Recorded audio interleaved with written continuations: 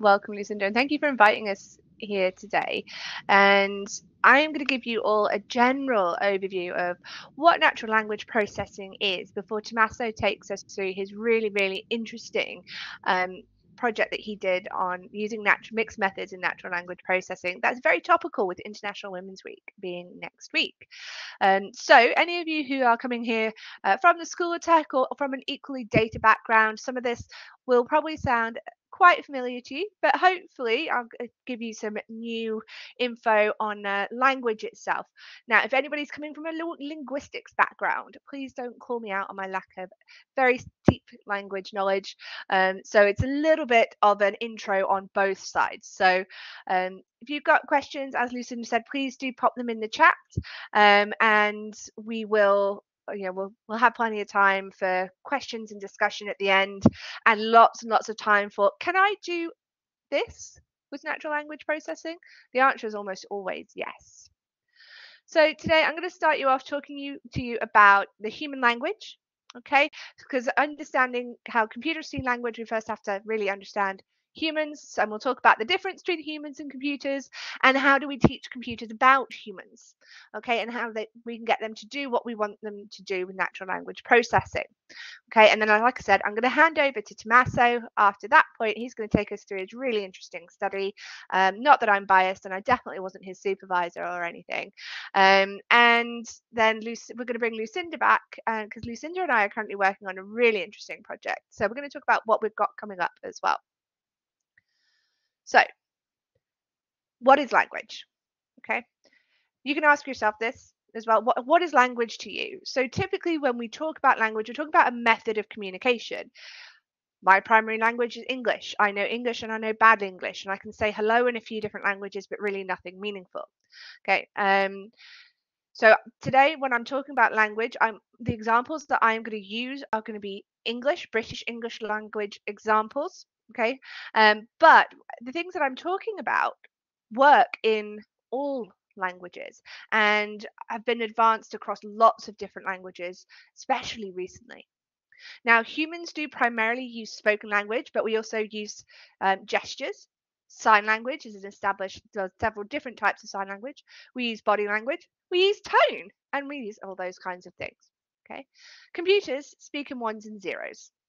That's called binary ones and zeros, they make up bits and bytes and nibbles. You may have heard that terabytes. Okay. But essentially, computers only speak ones and zeros. Everything else above that that we get them to do is interpretations that are models that are built on top of that, programs that are built on top of that. So you being able to see me on your screen really boils down to a series of ones and zeros and what we make those ones and zeros do.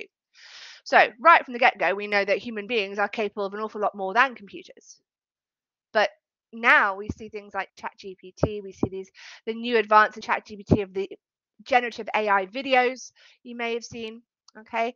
Um, but all of that processes down to getting computers to behave like humans.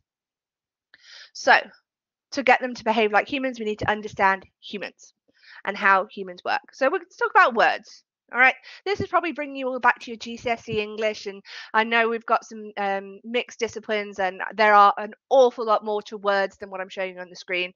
But we're probably all familiar with verbs and nouns and adjectives. Okay, we talk about adverbs quickly back ever. Okay, prepositions, pronouns, me, you, she, he.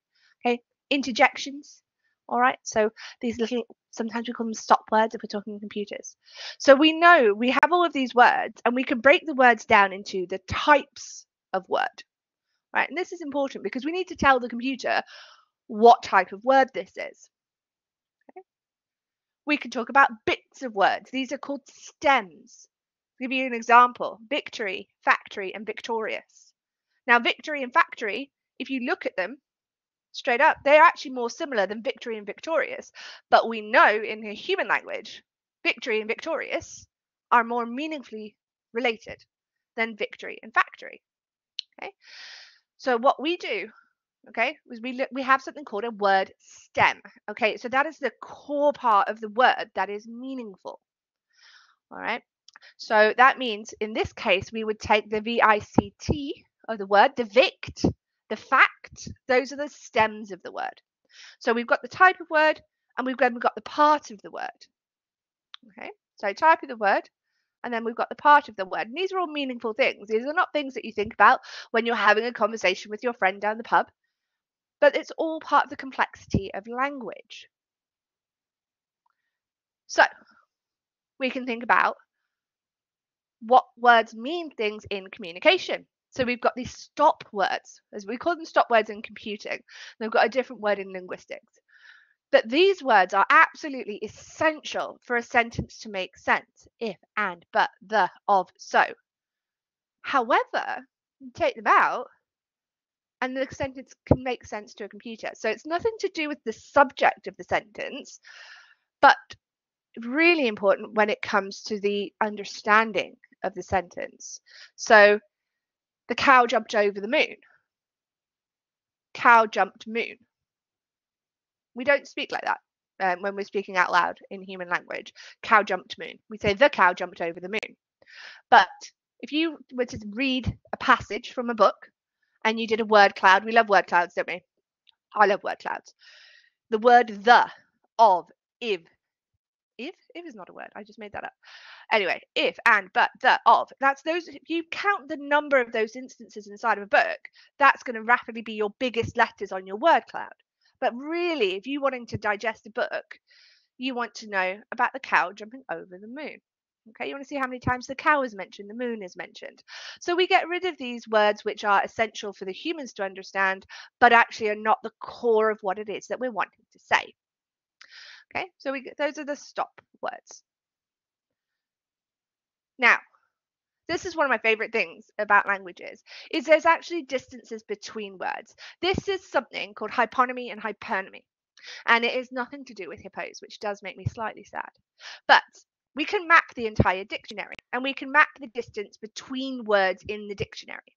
So if we take our example that we've got on the screen, we've got color, right? So we've got color. Now underneath color, we've got purple, we've got blue. Underneath purple, we've got violet, we've got lavender. Underneath blue, we've got navy. So these positions that words sit in with each other actually have distances that we can put on them. So we know that violet and lavender are more closely related than lavender and navy because we measure the distance along these lines. So lavender goes up to purple. You find that common ancestor. So just as you have the genetic difference distance, sorry, genetic distance between a human being and a gorilla by going to our common ancestor, or a horse and a zebra by going to their common ancestor, words have that same ancestry. Okay, so they have that same commonality, which means that when you are sorting words, you can actually say, right, well, the, the word violet is more closely related to lavender, but how far is the word violet from the word tree? Okay. So we can we've mapped the dictionary. In fact, I worked with a person who classified the entire dictionary. Okay. Um, very very cool project done by the Oxford University Press. But other dictionary, other universities and places have mapped different dictionaries because the British dictionary is different from the American dictionary, and then of course we have different language dictionaries as well. I've now said the word dictionary too many times and it's become meaningless. All right, so we've got types of words, nouns, adjective, verbs. We've got parts of words. We've got the stems. We've got words which mean something but also don't mean something. We've got words in relation to words. And then we have sentences. Okay, so we've built up our sentences. All right, so we've got our noun phrase, the cat. We've got our verb phrase, plays piano. And these are in specific orders because what does the cat do? The cat plays the piano. What happens to the cat? Sorry, what happens to the piano? The cat plays. That sounds a bit weird. Okay. So, although it's kind of technically correct, something is happening to the piano, but because the piano is in the verb phrase, we swap it out. So, this is just a real quick whirlwind introduction to the complexities of language. Now, try teaching that to a computer. Okay, so we've got to know it and understand it ourselves because if we don't, then it doesn't really translate over to the computer. Because remember, we've got words, sentences, inflection, gesture, computers have got ones and zeros. Okay, so the cat plays the piano. Right? It's meaningful. Each one of those words plays a role, and its position in the sentence plays a role. We haven't even got to conversations yet. Okay. Ooh, me go aside going forward. Right.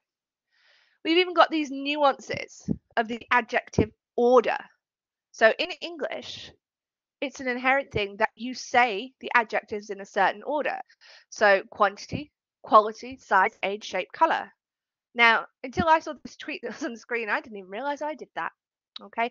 But the strange green metallic material is how we would do that. Okay. So it even dictates where you put an and or a comma. Okay. And again, all of this is meaningful. Okay. It's specific and it's deliberate of the way the language is used and developed. Okay. We love seeing people on the internet call out, oh, you use then rather than than. Um, and actually those sorts of things generally we do understand what people are going for okay so um, but you will see people get really finicky about the way that certain types of languages are used because you know um, eating with your children and your dogs or eating your children and your dogs and, and things like that. there's lots of and lots of examples about misuse which changes the inflections which changes the purpose. And next thing you know you've accidentally cooked your grandma okay? Um, but all that is to say it's important but it's really specific and really nuanced and can be very difficult to explain let alone write rules let alone translate it into ones and zeros. Okay?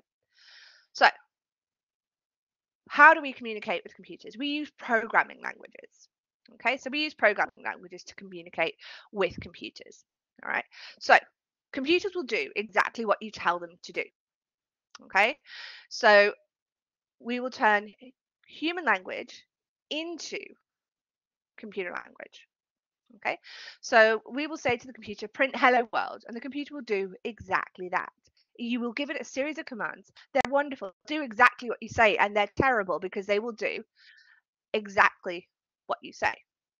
Okay, so printing that hello world. Now the computer will turn that into these ones and zeros okay, which is fine, but it's not especially useful. So we need to build that up, okay? So we need to turn that into a series of commands that means it can in interpret human language. So we need to teach the computer, okay? So we teach the computer in a few different ways. We can give it supervised learning, right? So this is machine learning. You can split it into three particular ways. Supervising machine learning, this is where we say, right, here's all the right answer. Find out why. We say unsupervised learning.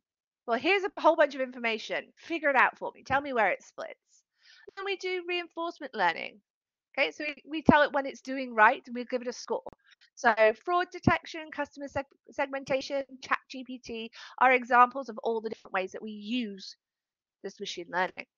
Okay, so where we have data sets, big old data sets, historic data sets, we can feed that to the computer. It works out the rules and then it says, this is likely to be this case. Or we can say, well, we don't really know what we want the outcome for this to be, but tell me who is similar to who. That's how we can look at custom segmentation. And we can say, right, have a go at predicting this. I'm going to tell you how well you do. Then you go ahead and you learn from that. All right. So that is how machine learns. And that's, that's it machine learning 101 you're done you're good to go okay um, that's obviously a very simplistic approach to it but that is how it all boils down right so quick history then of natural language processing so natural language processing is the computer processing of human languages okay the, a lot of interest began in World War II, looking at translation models. So, looking at um, different language translation models being done by machinery rather than by humans. And the early models and challenges, you know, done by maybe you've heard of Noam Chomsky. Okay, began to realize that actually it's not just as simple as translating an English word into a French word or a German word or a Chinese word or any other language because you need to look at the wider structure of the sentence. Okay, we need to look at how things are phrased together. Okay, um, and that really led us into what's called an AI winter. So AI goes through hype cycles, just like lots of other things. And the first sort of AI winter, where everyone kind of put it aside, was in the 60s. Because one of the issues really is when we deal with these natural language processes, they're very, very complex, which means that we need really powerful computers to be able to deal with it. Okay. Um, our very sort of first AI conversation. It's called Eliza. Um, so Eliza was built in the late 60s and mimicked a essentially a, a therapist client interaction um, and essentially just structured questions. Okay, and it you know it worked. It's obviously very basic, and anyone use ChatGPT, you'll realize that actually it's um you know nowhere on what that can achieve. Now, in the 80s and 90s, the statistical models and the neural networks began to get developed. Okay, so these neural networks are essentially fancy predictive text. But what we can do with these is something called encoding and decoding. Okay, so I've got a picture of that on the screen, right? Which means that we can actually create the context from the words when they get encoded, so that when they get decoded, that context can remain with the word as the word changes to rearrange it in the right way. Okay, so our models in the 50s and 60s could say, you know, La Rosa Casa from the Red House, when actually in Spanish it's La Casa Rosa. Okay, so that the relativity when we talk about these great big nets of words, these mapped dictionaries, can stay with the word, making that translation even better. Then, of course, we need to train our models. So when we're doing these learning algorithms, we need to feed it data to learn from. And the computing power that goes behind our chat GPTs has increased substantially. So chat GPT went from excuse me being trained on 117 million to 175 billion training parameters between 2018 and 2023. So in the space of five years, that's hugely, hugely improved. And that is only capable when working with really advanced computing power. So the you know if you remember your little desktop systems or even those old Apple computers with the green see-through backs on them, there is no way that they could cope with what even your phone does now, let alone what some of the cloud computing power has we can do. So when we actually get into building these models, okay, it always starts the same. First thing you do is you clean your data. Right, so you get rid of your funny characters, you get rid of your emojis, you get rid of your misspelled words, and mistranslated words, clean them up, make them all neat, neat and tidy. That's always going to be the part that takes the longest. So you can ingest your data in any format. You can get PDFs, you can get Word documents, you can get Twitter, you can get Reddit, you can get whatever you like. There's always a way to get that in. But then cleaning it up. All right. So even your beautiful translators, if your accent's a little bit not placeable like mine, then it will struggle to pick up some words. But you clean up your data, you've got your nice neat data, it's there, it's ready to go. You need to build a corpus. Okay, so the corpus is which which words are you going to learn from? Now, lots of our programs have got built-in corpuses, okay, or corpi, I don't know what the plural of that is, but you can say, right, here is a whole heap pile of words, train yourself on that. Next thing we do is we lemmatize our words, so we change our words into their stems. So we talked about the stems, but get, get the meaningful part of the words. And that what that means is that it prevents flooding these models with words which are actually all the same but used slightly differently because then your model's going to think, oh, this one's super important. And you'll get a model that is focused just on iterations of the word change. We get rid of our stop words, if, and, of, the, but. So again, we're boiling our words down to the most basic parts of it. Okay, and that means that we are focusing on the really important parts of the words that we've been given. Then we build our models. Okay, so some of the most popular models that are used in natural language processing, so your reinforcement learning algorithms, well done computer, 10 out of 10 for this one, that's your chat GPT. So chat GPT is based on the same ones that learn how to play chess. Okay, so it, essentially you reward the computer when it does something right. The more you do it, the more you train it on, the better it gets at predicting. Okay, so it's it's like a very enthusiastic puppy.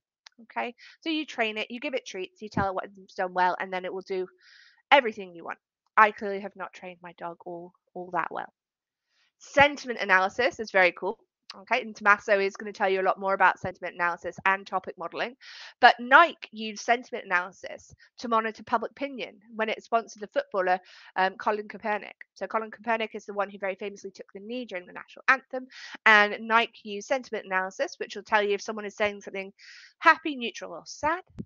Okay, and then and is really commonly used to sort of monitor customers um, and customer opinion about products and feelings. Topic modeling. Topic modeling doesn't often get into the public domain, but from a researcher perspective, is really valuable. So, topic modeling showed us that in an analysis of news articles about coronavirus, things like the markets, company drama, and cancelled events were written about much more frequently than the health impacts of the disease. Okay, um, you can take from that what you will, but that that analysed 35,000 news articles. Okay, so thematic analysis, very, very cool. Topic modeling is essentially thematic analysis on a crazy scale. Within thematic analysis, okay, with the most common model that we use is called latent Dirichlet allocation. So what this does is you take all your documents. So your document might be a tweet, it might be a book, it might be an interview, it might be a single line response and it feeds it this extra layer. Okay, so it takes all of these words and says, right, these words actually feature in these topics. Okay, so that is how that you know the news story allocation um, analysis picks things out. So it will look across all of these documents and find the common topics discussed in all of them. And Tommaso is now going to talk to you all about how he's actually used sentiment analysis um, and topic modeling together for the project that he did. So Tommaso, I'm going to keep driving for you, but I'll switch my mic and my camera on. Perfect, thank you. Azure Studio, next slide, please, as and when. Uh, so yes, thank you everyone. So I'll introduce myself because I, I, guess I've been fairly silently lurking in the background. My name is Tommaso and I also work at BPP University. And yes, I uh, completed a project, I say recently, it's actually a fairly long time ago now, it feels like it, um, on natural language processing and more specifically, um, how we can use the techniques that Sam has just talked us through to detect gender bias or to test whether there is gender bias in place. So this um, ultimately led me to a couple of key, I guess, objectives, key uh, hypotheses to test for this project. And one of them was to check whether there is a significant difference in the sentiment and the semantic composition of um, Twitter data. And at the time, it was still called Twitter. So this was just before it rebranded to X. So I will continue to call it Twitter because I don't think my brain can handle that at this point.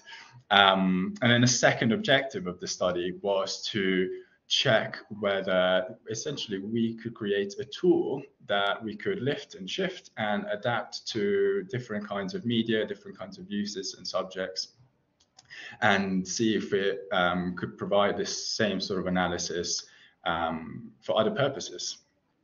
So that's that's the basis of my project. So Sam, next slide, please. Oh yeah, I've got fancy things in there. So yeah, to to start us off, I will go through some of the stats I found in researching this topic. So I particularly I started off working in the tech school looking at the technology sector. And at the time of um, writing this a few years ago now, when I first started doing this research, um, a couple of distinct studies found that about a third um, of UK and US jobs in technology um, were occupied by women, as opposed to uh, often was over 70%, in fact occupied by men. Um, there's a real uh, trend, um, or rather an inverse trend in importance or I guess um, value given to an academic research paper and the list or the place of any female authors uh, in the list of authors for that whole paper. So um, basically what I mean by that is that the more likely and more prestigious the the more likely to be, I guess, valued and the more prestigious the publication, the further down the list of authors you will more likely to see um, females, female names. Um, additional analysis found that um, agentic descriptors, so those are things that we use to describe people who have a real drive to take the lead, take control, and you know get us out of the sticky situations. People who are born leaders.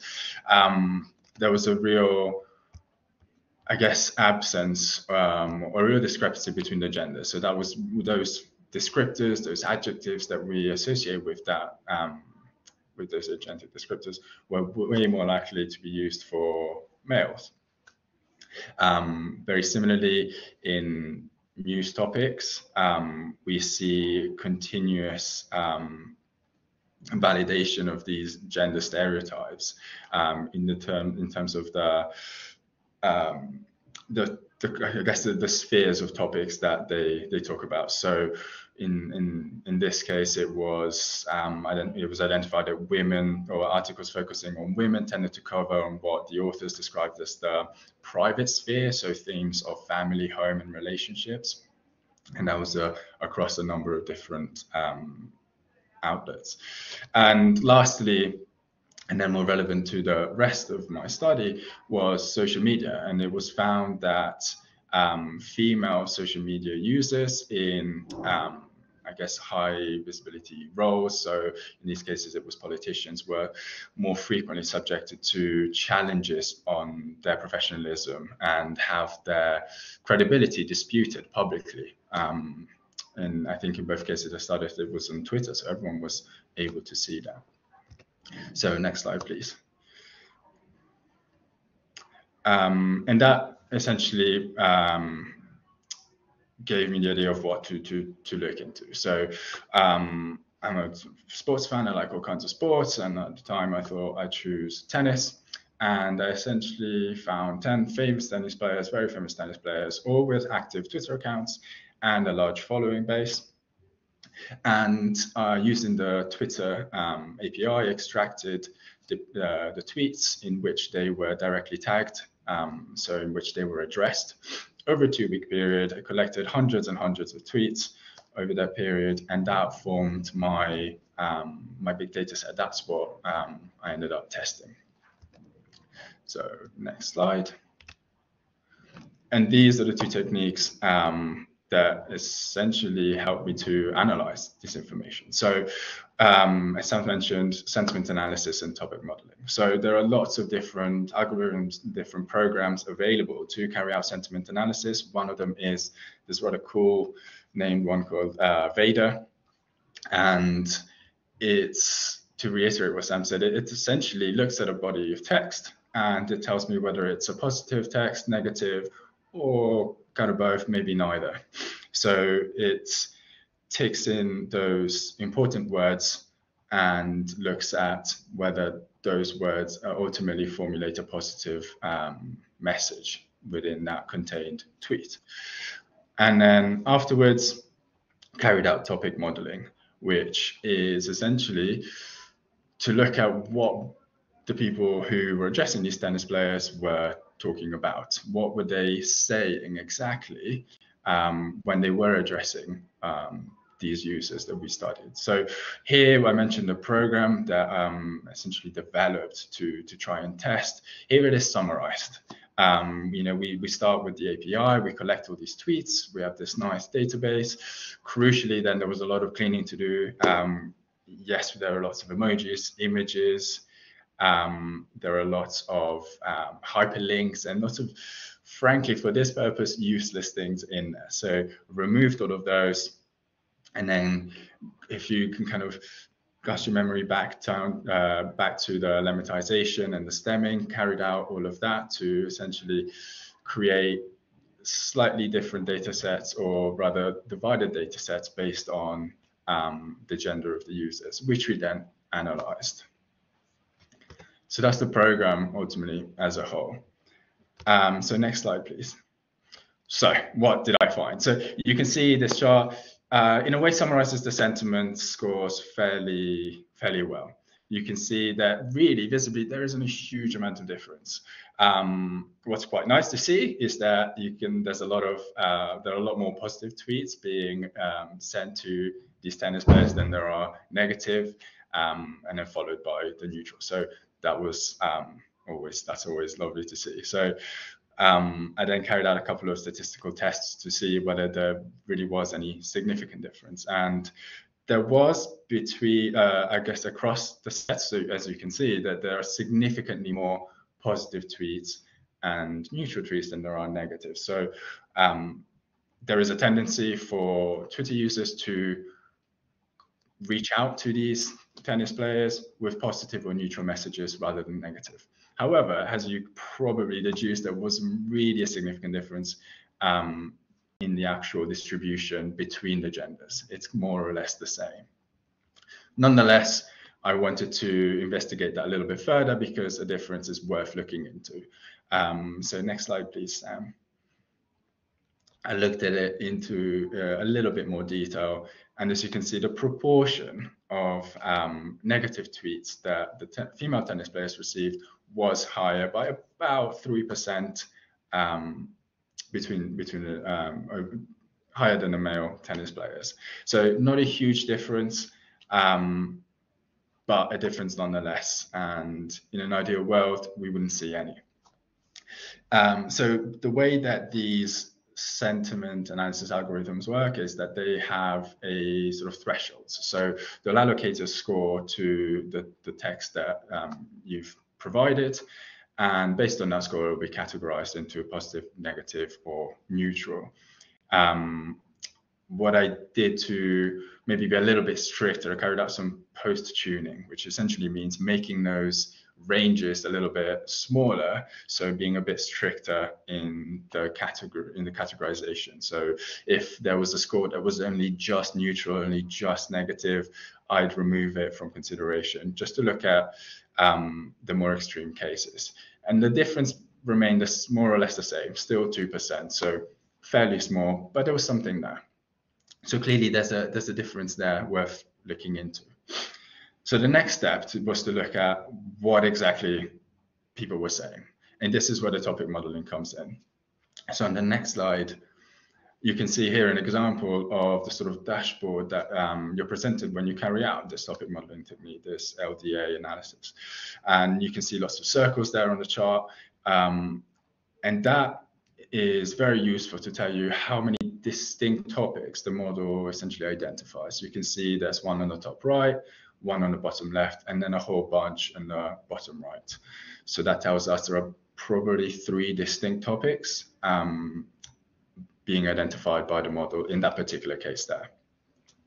So in the next slide, we can see the differences between the gender data sets. So on the left, we've got the negative data sets.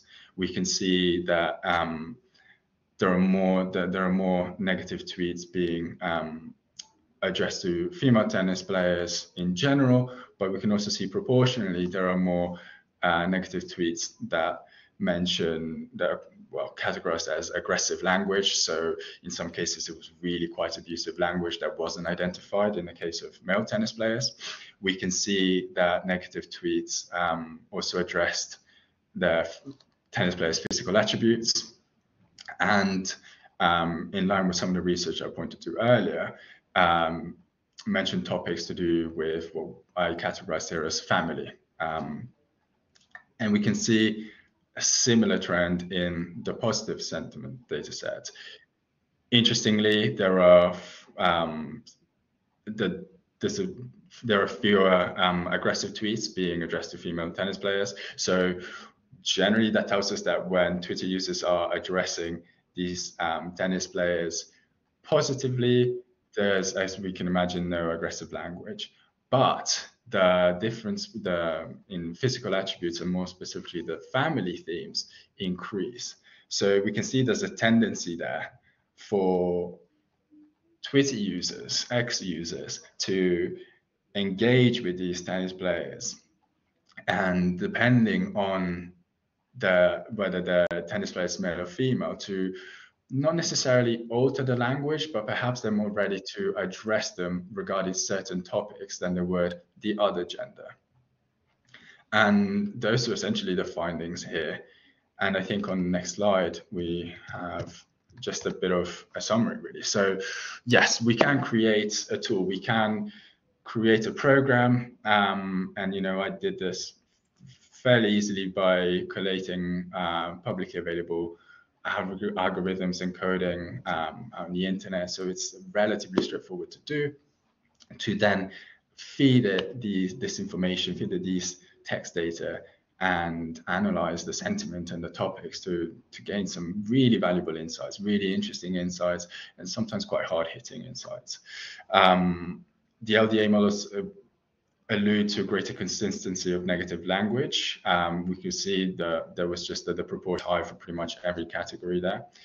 And it also shows us that there is a significant disparity. So all these were sort of statistically tested and I found that there was a significant disparity in the themes, in the choice of words used by Twitter users to address each gender.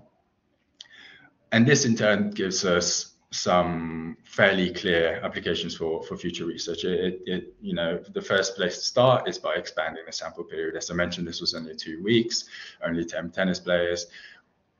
Maybe needs, needs, this needs to be expanded over the course of a year to 10, however much we can we can wait basically and increase the, the population size. Let's look at more tennis players. From there, there's continuous improvement that can be made to the model.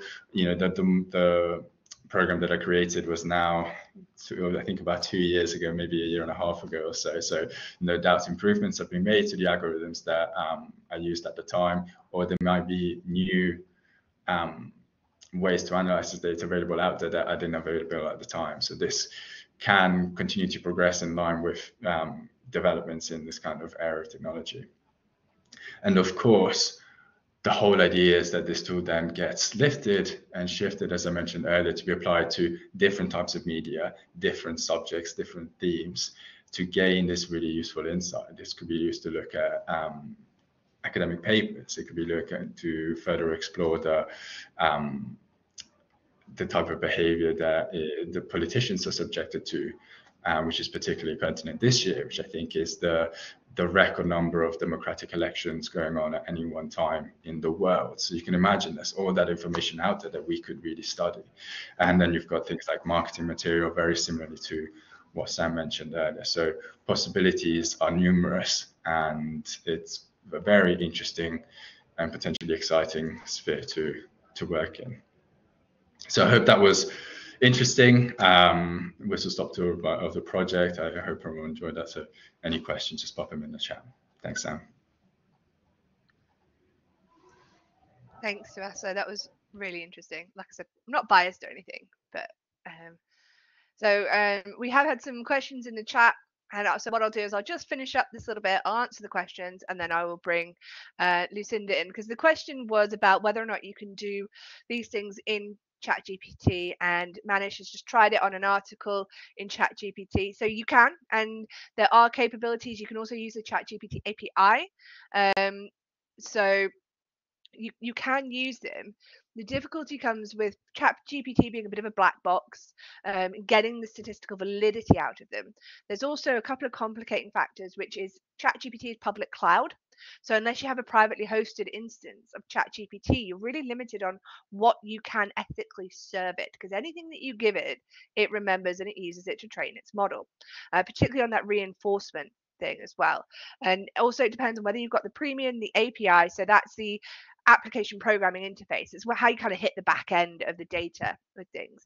So absolutely doable, but it's probably going to cost you money and programmers. So um, Tommaso and I both built our programs inside of Python, which is free to use, which big fan of. You know, they say if it's free, it's for me. Um, so definitely you can use it, but use it with caution and it might not be quite as versatile as you hope when you're starting to get into large volumes of things. So ChatGPT itself as well is trained on Reddit. Okay, now I, I love a, a Reddit rabbit hole as much as the next person, but with Reddit, okay, so Reddit is a primarily American um, American user base. Uh, it's also it does have moderators, but it does have some some sort of dark areas and a lot of um, that can influence the way these algorithms behave. Okay, so computers model humans, and humans are most certainly not perfect. Okay, so um, Google has just released a, a, challenger to ChatGPT trained on all of its own data rather than just Reddit. Um, so whether that is better or worse or is yet to be seen, but it doesn't take very long to prompt these algorithms into being quite unsavory, um, which I think is probably the most polite way I can think to describe it on a recorded call. So what eh, these are, these models is really only as good as the data that you feed them and it does mean that cultures and dialects are not equally represented okay? So you do need to use them. And there is obviously a great need for a sarcasm font okay? So some of the more advanced models can be induced to pick up on sarcasm, but they're not perfect. So there is, of course, a risk that, especially with sentiment analysis, that you are misclassifying something um, as excellent or happy um, when in reality it's actually sarcasm. Okay, so just as the difficulty as we get understanding tone and inflection when we're reading text data, that computer is going to have exactly those same issues. Um, so is there any validation done around whether humans agree the sentiments is uh, positive, negative, and neutral? So the way that those models are built is on supervised learning. So what we do is we split it into what's called a test and train set. So typically you'll have say 10,000 um, human classified tweets. So usually some poor postgraduate student um, has had to sit there and go through manually and say, this is happy, this is neutral, this is sad happy, neutral, sad, happy, neutral, sad. Okay. And we then get some new, we get those 10,000 and we train the model on some of it and then we test it on the rest. So we don't train it on everything, otherwise it's going to be a perfect fit. And so what we're looking for there is to see is there enough consistent variation in the data to be able to say this is going to happen again. The Google car was um, done on supervised learning. They drove it around the desert for hours and hours, actually days, weeks, months, um, for the uh, Google car. So yeah, there's there is validation, and then what we do, of course, is then backwards validation, and we get a statistical certainty for how confident we are that we got most of these right. So when Tommaso was talking about that threshold, so Tommaso challenged his model to be more precise. So you can actually get this, you can say, I have this room for error. And you can even say, I have room for types of error. So when it comes to fraud, for instance, again, that's supervised learning. What we often find is that our you know clients, customers, the users of people for these algorithms with fraud, they would rather let fraud go than accidentally accuse their customers of fraud. So you have your sort of false positives, false negatives, um, true positives, true negatives, and in some cases you can change that tolerance for actually I would rather have a model that errs towards um, the false negatives than the false positives. But we can talk about that all day. So now I'm going to tell you a little bit about what Lucinda and I have got planned. So Lucinda, can I invite you back?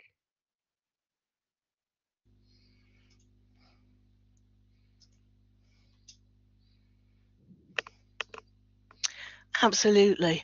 I was just having a bit of a, a lag there um, in my uh, internet. So um, I started doing a completely separate project. I hadn't even met Sam when I was doing this project. Um, and I was looking at um, legal apprentices' feelings around and experiences of academic failure or what they saw as academic failure. Um, and it was a qualitative study, so I ended up with um, nine long interviews about how they feel um, about this.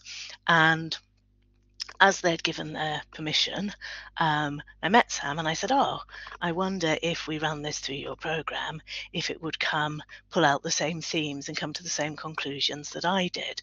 So currently, what Sam and I are doing is um, looking at whether the computer um, method um, comes. Um, I'll, I'll bob my email in the chat in a minute, uh, Ingo. Um, whether the computer method comes to the same conclusions that I with a human brain did. And then we're going to get some other human brains involved as well, um, both from the School of Law where I am and School of Tech where Sam is, uh, and see what sort of consensus we get um, from people. So the idea is to see how close it is and whether or not we could then look at creating um, a, uh, a model, a method of computer assisted qualitative analysis because as anybody who's been involved in qualitative analysis knows it takes forever and a day um, to go through everything and do the themes. So that's what we are currently working on. Sam i don't know if you want to add anything to that so the really cool part about this study um, is that usually topic modeling and things like that they are done on a big big scale. So we all know when you increase your sample size your chances of getting something significant also increase just because you get more versions of what is common. So what we're really looking for is to see whether or not this can be used on a smaller scale study um, where you wouldn't necessarily have the investment to you know buy a nice tool or a premium subscription. You don't want to be using public cloud platforms, um, but also you want to be able to run it quickly. And so these kinds of things are really useful in um, you know survey responses and, and stuff like that. So any of your open responses. So what we're doing really is just checking to see, like I think it was um, it was Helen, wasn't it, who said has it been tested against um, human outputs? is to see whether or not it works in this case. So we're pretty confident they work well on a large scale, but can it cope with the small scale interviews um, and not get flooded by the interview themes as well? So we just check and see how sensitive is it. Um, but yeah, so now it's my turn to thank you all for being a wonderful audience. Um, I've really enjoyed your questions. And has anybody got any more? So if you want to use it, so you, I can certainly send you a version um, of the Python program, and if I can show you how to use it as well. And um, so you'll just need access to Python. I use mine through Google Colabs. Um, now, if you do want to use the Twitter API, I will warn you the Twitter API changes like every other week, and you'll need to get yourself set up as a developer on the Twitter API. But certainly for the, you know, we can share our. Well, I'll speak for myself. I'm happy to share my topic modeling um, program um, or I'm happy to collaborate as well if you need a programmer to help you with it. uh, yeah, I've got. I'm always looking happy to be a in the background collaborator, but I've also got lots of other colleagues as well in School of Tech who um, know more about programming than I do as well. Do we have any other questions for Sam and Tommaso?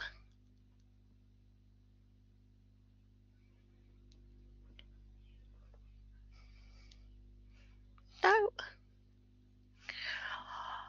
I think I think that just leaves me to uh, again say thank you ever so much um, to both our presenters for coming along and talking about this. Um, I've popped my email in the chat, so anybody who wants to get in touch um, with us either um, for ALT South reasons, and I will add that we are always looking for people to um, come along and join in um, on the committee as well um, at ALT South, or anybody who wants to get in touch with Sam uh, and or Tommaso, I can put you in touch with them as well. Um, and thank you very much all for attending. Thank you so much for having us. I've really enjoyed that. Thank you very much. Thank you.